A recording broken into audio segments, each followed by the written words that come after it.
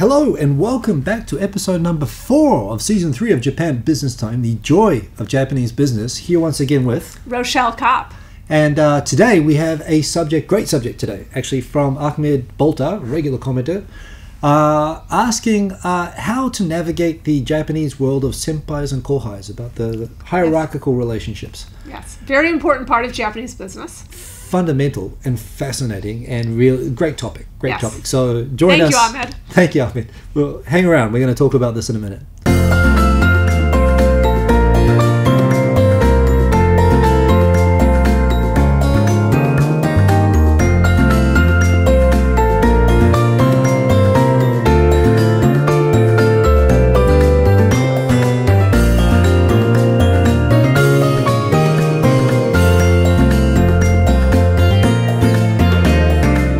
So let's start from the basics. Senpais and kohais. Yes. Okay, so in any Japanese organization, you have people of different ranks. And anyone who is more senior to you, usually older than you or has been in the organization longer, Hmm. is your senpai. Right. Anyone who is younger than you or has had a shorter tenure in the organization is your kohai. Right. The only people who aren't your senpai or kohai are the doki, Yeah. and they're the people who entered at the exact same time as you. And it's the exact same time. I mean, well, I'm just thinking you could have someone who joined, someone who joined like uh, three months uh, before you.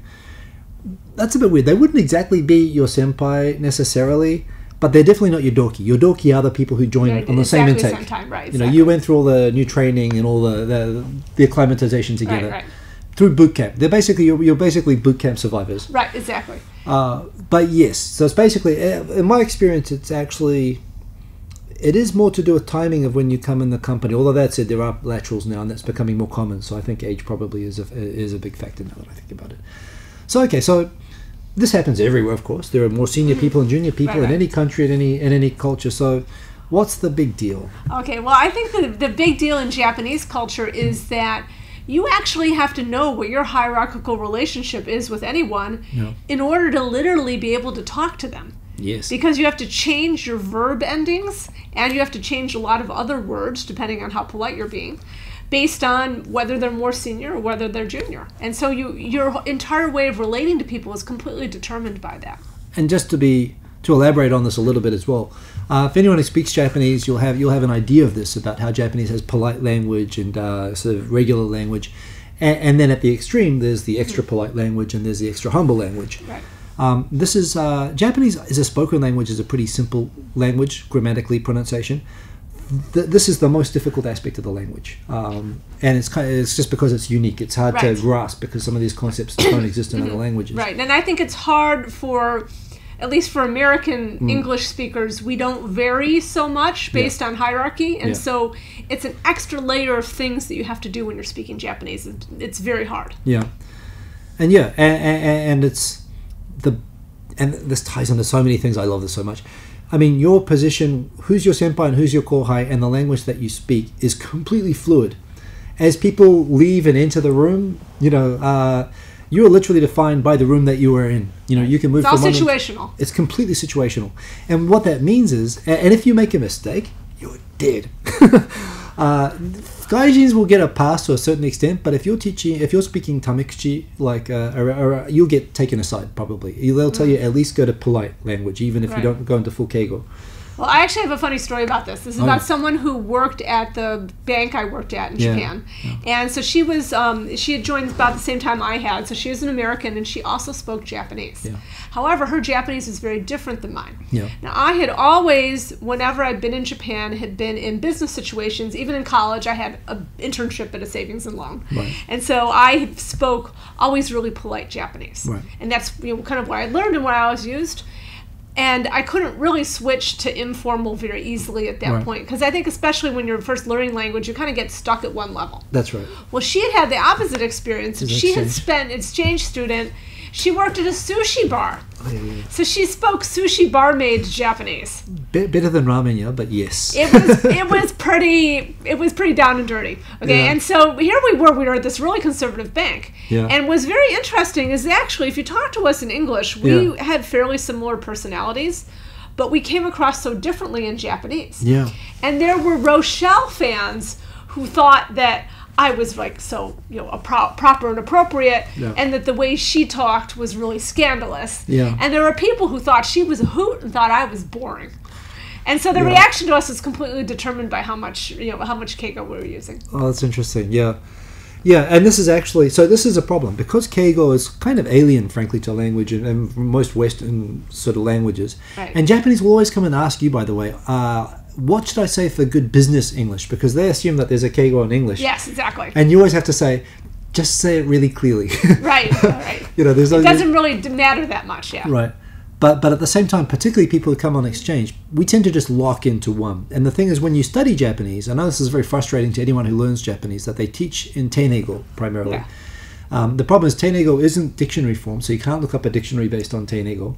Uh, and, and when these people who learn Teineigo for all these years and then they come to Japan on exchange and all their friends at school are speaking casual Japanese, and they feel like they've been deceived all these years. I Well, it's hard that. to understand. I know it for for me initially, I, I couldn't understand people very well. Yeah. so they learn from their friends this cool Japanese and they get very fluent, but then they just lock into that cool Japanese, which they, is all they have to speak when they're at school. Right. And this is even Japanese have this problem, by the way, as well. they when do, they come out of university, Japanese struggle with Keigo as much as, in fact, I know foreigners who study Keigo, and they actually cope better than some Japanese. who Right, right, exactly. Well, actually, a, big issue that I get, and I've, I've actually been thinking of Yeah. actually making this a course that our company offers, Yeah. but we get a lot of Japanese who come and they go to university in the United States. Yeah. So their Japanese has kind of stopped at high school. Oh, yeah, They go to university in the United States. Then they get hired by a Japanese company's U.S. operations. Yeah. And then they're they, they never learn you know all the things you get in, in you know new employee training and they don't learn how to do keigo Yeah. and then all the japanese who are coming over as expatriates or the people they deal with at head office or their customers Yeah.